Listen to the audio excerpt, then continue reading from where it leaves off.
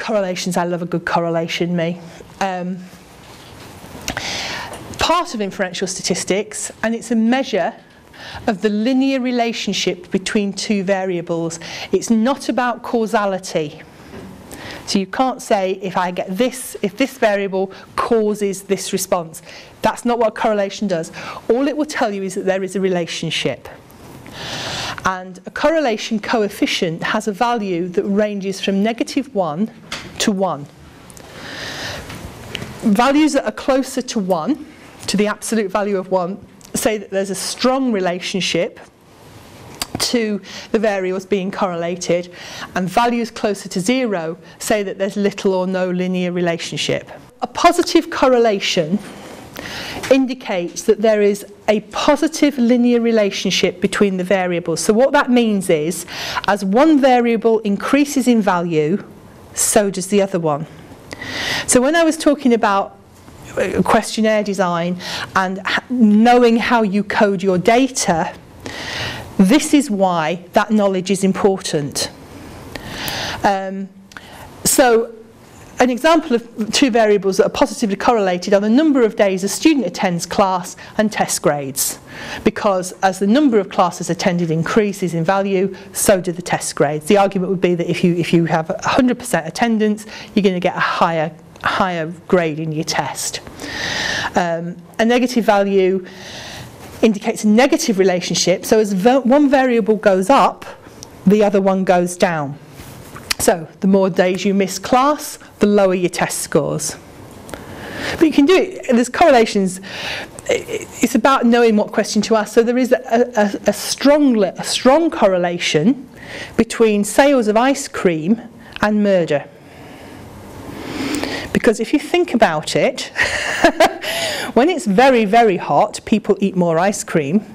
But also when it's very, very hot, people get more short-tempered, they get angrier, they get, they're stuck in a bus with a load of other horrible sweaty people, and the murder rate goes up. So there's no actual causality. You can't say eating more ice cream means you're more likely to murder somebody. But there is a relationship, but you have to unpick it. Um, and again, this is why I keep saying you need to know how you've, how you've scored things. So let me show you. Here is the correlation um, matrix um, between um, admiration of John Barrowman, how many shoes you own, and what your sex is. And you have to look at it to make some sense, to think about this to make some sense. So there is a, there is a, a strong, uh, well, a medium negative correlation between what gender you are and admiration for John Barrowman. Now this is why I have to know how I um, graded my um, questionnaire most people, well, a lot of people, when they're grading gender, will have one for men and two for women. But because I'm a feminist and I think women are better than men, I always have one for women and two for men. The reason that's important, um, apart from it being offensive to men, is because I've got a negative correlation, that means as one value goes down, one value goes up. So I've graded women as a 1, so they'll have a lower value on the sex score and I graded admiring John Barrowman as a 5. So there is a medium negative, statistically significant correlation between being a woman and admiring John Barrowman. Is that making sense to everybody? Do you want me to run it by you one more time? It's about knowing, because, it, because it's based on the numbers that you've put into the database. So it's not making any, any assumptions, it's just working on the numbers. Um, because I, I, the numbers I put in for gender was one for women, two for men, I have to bear that in mind. Um, because of how I graded categories on John Barrowman, so it was a five-point scale, and it went five for admire him, I can't remember what the what thing, four for pretty okay, three for don't think about him, two don't know who he is, one is an idiot.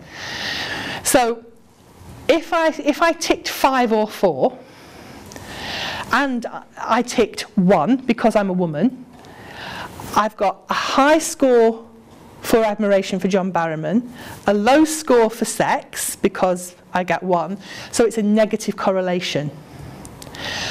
Um, most statistics textbooks will say 1 to 3 is a weak correlation, 4 to 6 is a medium correlation, 7 and above is a strong correlation. So we've got a correlation here that's minus 0.407. So that's a medium correlation. Um, we've got a significance at 0.002, so we're, we're pretty significant on that. So that hasn't happened by accident. However, I did this in the Department of Nursing, where we are heavily gender biased towards women. So you would have to put some context to it. You couldn't just assume that all women like John Barrowman. um, in much the same way, looking at the, the, the, uh, the row below, you couldn't automatically assume that all women like shoes. Although that's a pretty safe assumption, I think, with apologies to my gender. But again, you can see there, we've got a, we've got a, a, a negative, weak correlation um, that's significant at the 0.01 level between your sex and how many shoes you own. And that, that's, so it's, it's understanding the data at that level.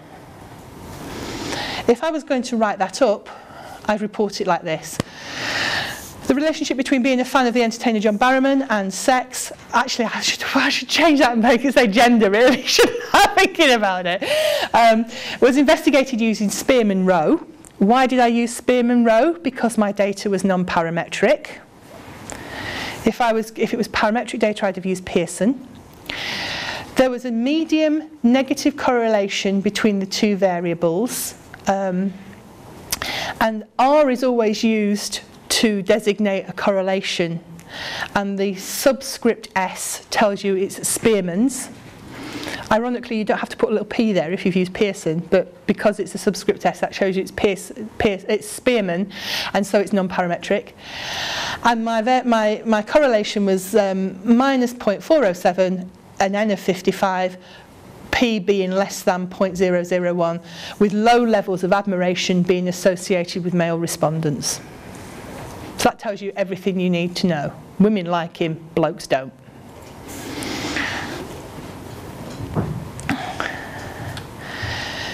However, correlations are a really good example of knowing what question you want to ask the data before you start your analysis.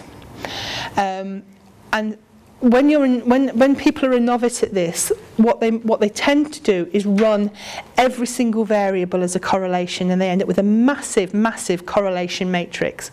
And because SPSS is very kind and very helpful it will highlight the statistically significant correlations. But if if you haven't thought to ask that question or if it's not answering a specific question it will just mislead you. So the ones we've just looked at arguably could be seen to make sense. But then let's have a look at these.